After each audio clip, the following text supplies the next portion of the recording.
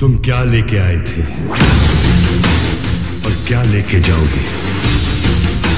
रह जाएगा सिर्फ़ एक इंसान। सर्वशक्तिशाली, सर्वशक्तिमान, कांचा।